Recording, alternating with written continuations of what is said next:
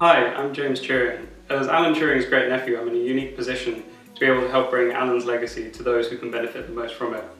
As I'm sure lots of people know, Alan Turing is very famous for having been one of the, if you like, the grandfathers of the modern computer. But there are some things that he's less well known for.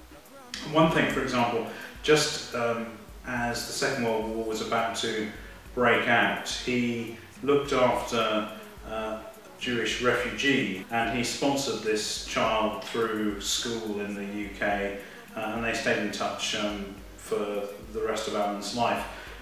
And I think that's I think that's really important message for the Turing Trust. In 2009 I started the Turing Trust with my family in honour of Alan's legacy, bringing computers to schools in sub-Saharan Africa where they can make the most of these reused technologies. What we try to do is put computers into classrooms in rural areas in Africa so that people will have equal opportunities for learning how to use a computer. So let everything becomes simple. Yeah. Easy. It has made the teaching and learning easy for us. It has helped to go internet and search for words that are not understandable. When the students get access to, it help them in studies, and it also uh, upgrade their knowledge in terms of uh, using IT.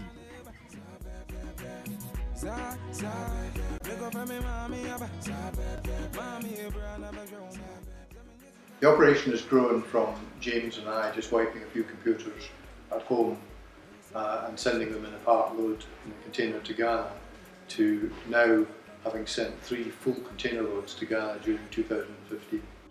The machines are checked for specification and securely wiped uh, and then restored by our volunteers back to factory condition.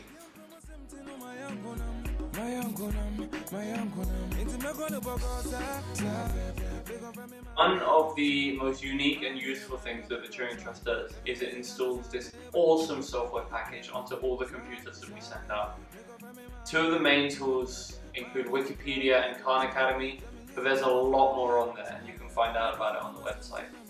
Everything that's installed is offline. This is really useful to the communities we work with because the internet is expensive or not available. We're also dedicated to the empowerment of girls and this means ensuring that they are included in our IT classes and especially our major IT trainings. However, we also give them the opportunities that are more specific to their interests. So if they're catering students, they might go into one of our catering stalls after school and earn themselves some money and understand what it's like to run a business. What did you do? Fashion and design. Nice. Did you make this? Yes. Wow! Oh my god. We at the Turing Trust have an all encompassing attitude to development, which means that we help each individual on a case by case basis.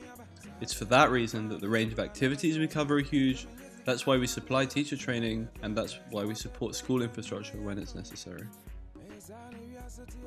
As African economies speed into the information age, rural communities are often left behind and become increasingly isolated from the digital world.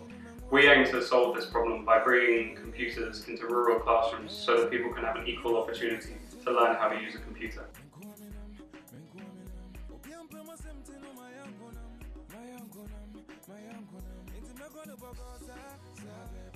Mami,